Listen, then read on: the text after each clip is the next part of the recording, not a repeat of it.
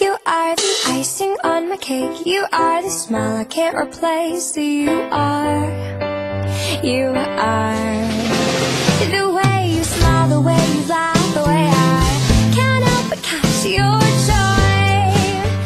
Bom dia, minhas linduchas! Hoje é dia 5 de julho, domingo, e eu tô começando a gravar um vlogzinho pra vocês hoje. Eu espero que seja mais curtinho esse, porque só vlogs longos às vezes não agrada a todo mundo. Enfim, hoje eu acordei mais tarde, né, comparado ao que eu costumo acordar. Eu acordei já era nove e meia, mas eu tava precisando, gente, desse sono aí, enfim, minhas costas estavam muito doloridas.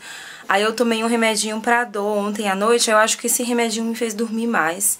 E foi realmente o que eu precisava, porque eu acordei muito melhor. Eu acordei, a família toda já tinha tomado café. Meu amor não aguentou esperar, porque ele acordou bem mais cedo que eu. Acho que ele acordou 8 horas, então ele tava morrendo de fome. E aí eu acabei tomando só um cafezinho preto agora com três bolachinhas, água e sal. E, gente, eu tô aqui num dilema porque o vídeo que era pra ser publicado ontem, sábado, aconteceu de tudo com esse vídeo. Parece até praga, viu? Oh, meu Deus do céu, vou te contar. Enfim, esse vídeo o computador desligou, pelo meio do processo de renderização no Sony Vegas. Isso é terrível, porque eu tenho que recomeçar tudo do, do, nada. E aí, na madrugada que eu deixei ele carregando no YouTube, faltou internet.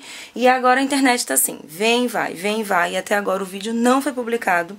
O vídeo que era pra ter ido ao ar ontem, 7 horas da noite. Então, é isso, haja paciência. Ele tá aqui, ó, carregando no YouTube, mas de novo a internet caiu e eu vou agilizar outras coisas, porque hoje, gente, ah, hoje vai ser tão legal. Hoje a gente vai fazer o nosso primeiro churrasco aqui na casa nova. E eu tô muito feliz com isso, por isso que eu vou começar a gravar esse vlog pra vocês, pra vocês participarem desse nosso momento, sabe? Que parece ser coisa pouca, mas pra mim, assim, eu sei que pra minha família é um momento bem especial. É isso, então vamos que vamos, continue me assistindo. Meninas, e essa é a minha cozinha num domingo de manhã. Muita coisa espalhada, tem xícara suja aqui na mesa. Essa travessa aqui que foi do almoço de ontem, porque ontem eu fiz almoço, né? A Sandra não trabalha dia de sábado comigo. E olha o estado também desse fogão. Ai, meu Deus, um de panela suja. A pia também tá daquele jeito. Então eu vou começar a dar uma organizada aqui nessa bagunça, porque senão não tem como rolar nada aqui, né, gente? Tem como fazer churrasco, tem como fazer nada. E o meu amor também já tá ajeitando as coisinhas aqui. Oi, amor. Oi. Tá, bom dia pras meninas. Bom dia. Ele já tá deixando o cantinho limpo. Oi, Luna. Dá bom dia pras meninas. Oi. Com o pijama mais lindo desse mundo, da Barbie. Coisa mais fofa. Então a gente vai fazer nosso churrasquinho aqui hoje. Não reparem, gente, aquele pedacinho da parede ali de cimento porque quem me acompanha aí sabe que aquilo ali foi o problema que deixou a gente louco. Estava um cano estourado ali, a água estava indo toda embora, aí eles tiveram que quebrar para consertar. Mas o importante é que eles consertaram e logo logo vai vir um pintor ali para arrumar aquilo ali. Só estava esperando mesmo o cimento secar. Agora que aparentemente ele secou, o pintor vai consertar e vai ficar tudo lindo. Aqui nesse cantinho, depois no, no vídeo de tour aí da casa eu vou explicar melhor pra vocês. Mas aqui nesse cantinho a gente tem vários projetos com ele. De fazer um cantinho do churrasco mesmo, né? Porque vocês sabem que casa de gaúcho, canto de churrasco, ele deve ser bem valorizado. Então vamos voltar aqui pra bagunça.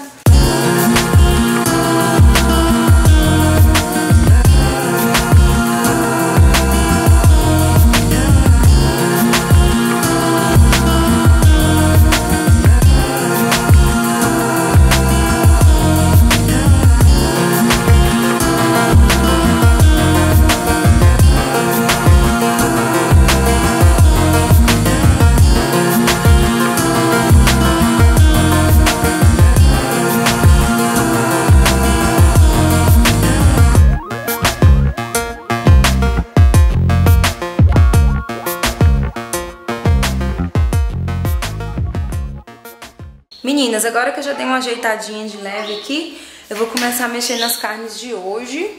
E elas já estão aqui, ó.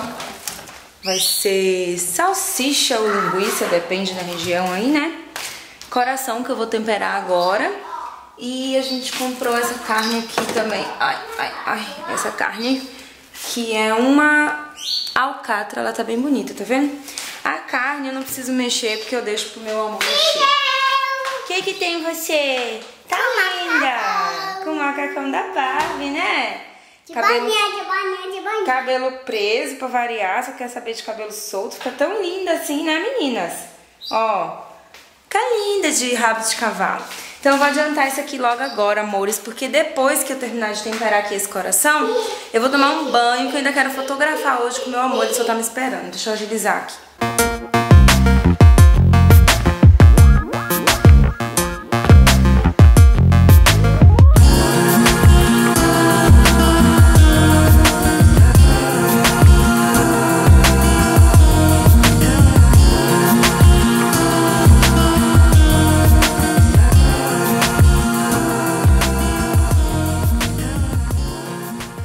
Tô pronta pra fotografar, mas eu tô derretendo, gente. Tá muito calor hoje. E eu amei esse look, ó. Esse vestidinho é lá da Dress Gal. Daí eu coloquei esse, esse colar aqui que eu comprei lá no Feraguai. Esse chapéu também é lá da Dress Gal. Deixa eu vir pro espelho maior pra vocês verem. Ó. Bem bonitinho, né? Daí ele tem essa transparência aqui, ó.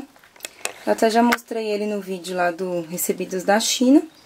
E esse sapato aqui que é tipo uma botinha cheia de spikes.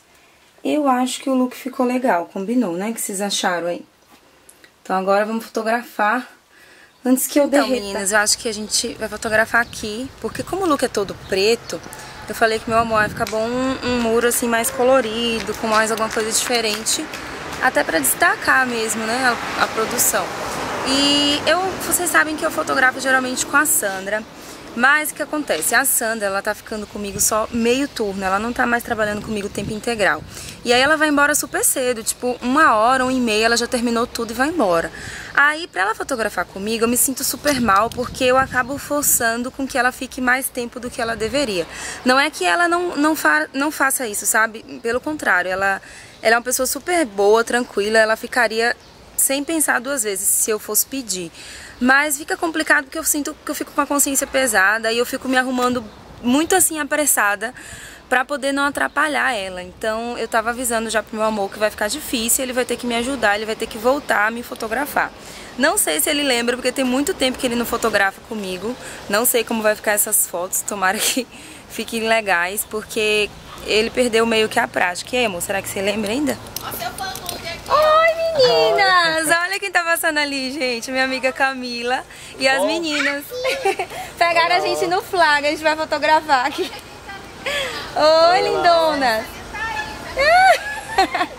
Fotografar aqui, Mila. Tudo bem aí, né? Ah, oi! a Luna tá aqui no carro.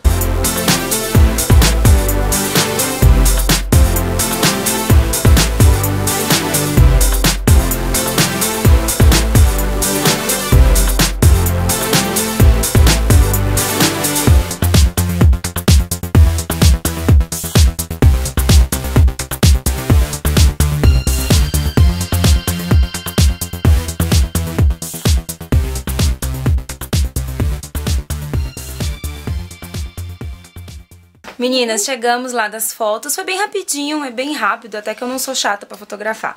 E a aluna me pediu, por favor, por favorzinho, coloca esse sapato em mim, ó. Ó o sapato que ela tá aqui, ó. Você sabe caminhar nesse sapato, mamãe? Chave! e a Miúcha tá toda dengosa, tá toda dengosinha, tá querendo um carinho. Vamos dar um carinho nela, vamos, vamos dar um carinho nela. Meninas, eu sei que vocês vão perguntar, talvez tenham reparado que meu cabelo ficou maior, né? Cresceu, ó, da noite para um dia.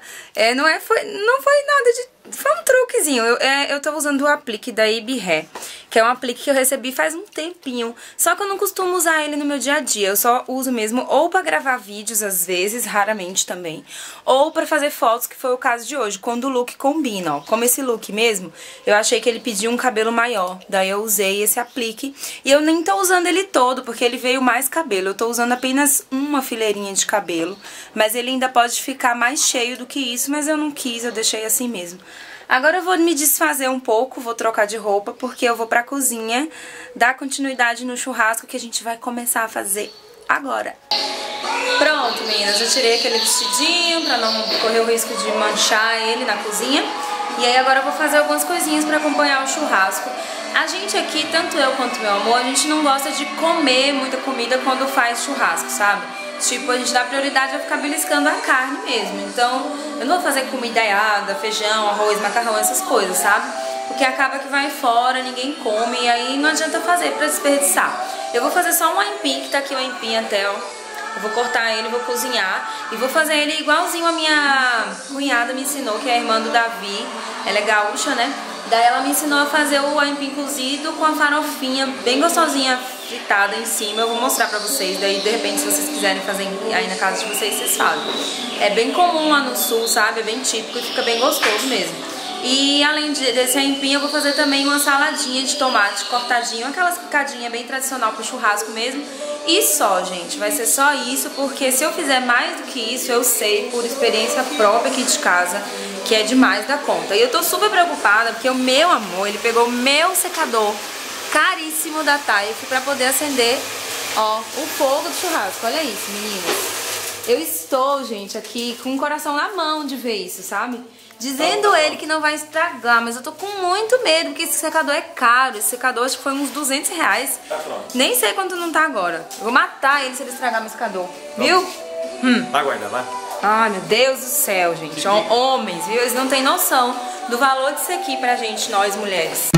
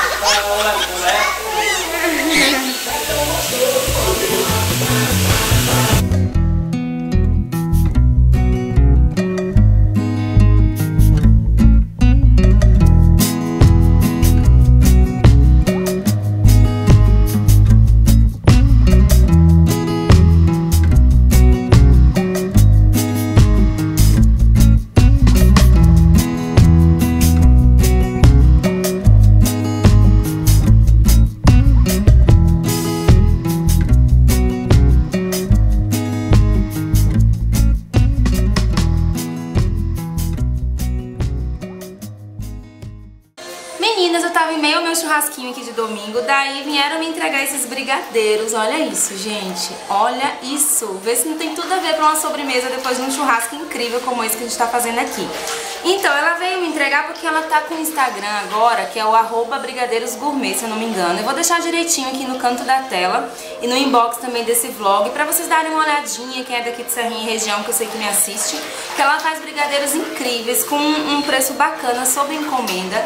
E é aquele brigadeiro com toque especial, porque é o brigadeiro caseiro, sabe? Não é aquele brigadeiro industrializado, que tem um gosto às vezes não tão bacana. Então, eu vou provar, com certeza, ainda hoje, eu vou contar pra vocês, mas a cara tá uma tentação. Daí ela deu uma caixinha pra mim e uma caixinha pra Luna, porque vocês sabem que a Luna ama doce também, né? Qual a criança que não ama?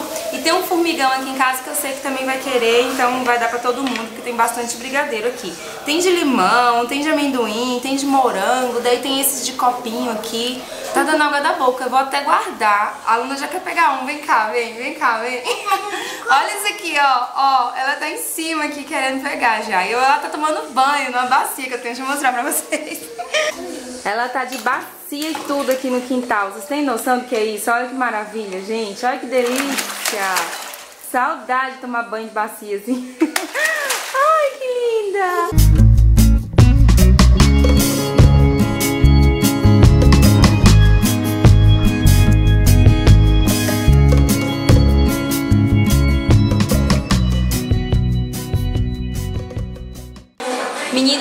agora pra cozinha pra terminar de fazer aqui o aipim, tá? Ele já tá cozido, eu coloquei aqui ele nessa travessa e eu vou fazer aquela farofinha que eu falei pra vocês que fica bem boa.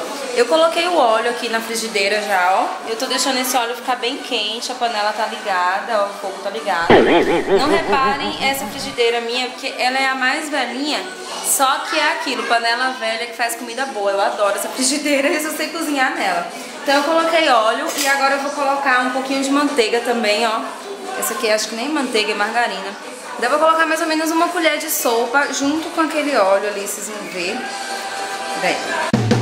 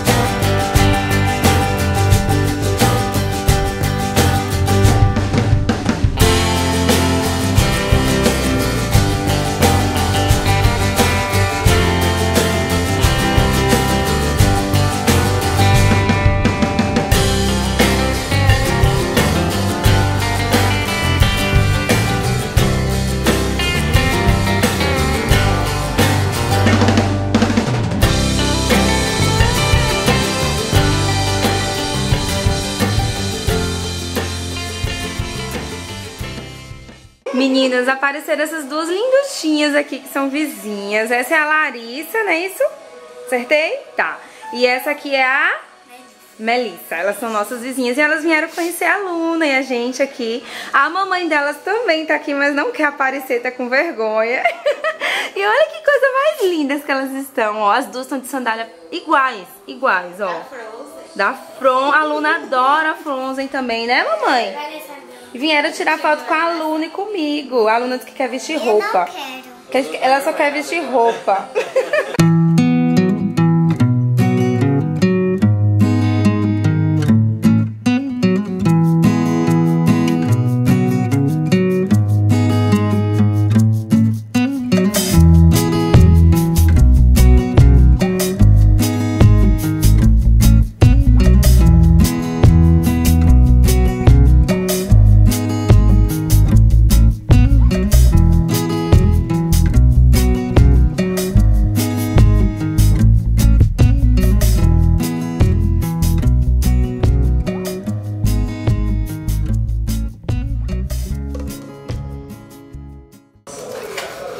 Meninas, já são quase 5 e meia da tarde e nosso churrasco ainda não acabou. Recebemos visitas da vizinha aqui do lado que diz que assiste os meus vídeos com as filhinhas delas fofas, como vocês viram aí. E o churrasco foi ótimo, maravilhoso, correu tudo bem, um sonho realizado, porque eu vou falar pra vocês, gente, fazia muito tempo que eu queria fazer um churrasco assim em casa, só que vocês sabem que eu morava em apartamento, né?